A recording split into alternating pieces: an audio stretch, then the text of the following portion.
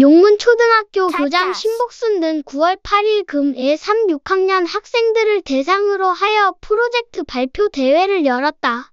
학생들은 4월부터 여름방학 동안 관심 있는 주제를. 정하여 깊이 있는 탐구 활동을 하였으며 발표 대회를 통하여 탐구 과정 및 결과를 공유하는 시간을 가져 자기주도적 학습 능력을 신장시킬 수 있었다.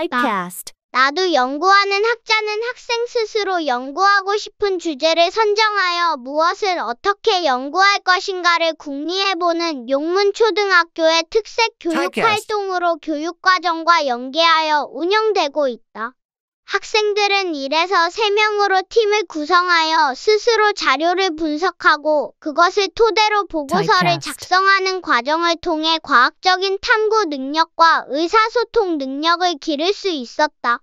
프로젝트 발표 대회는 각 학급의 전 학생이 참여하여 2시간 동안. 진행되었으며 여러 가지 자료를 활용하여 연구 내용을 효과적으로 발표하는 학생들이 많았다.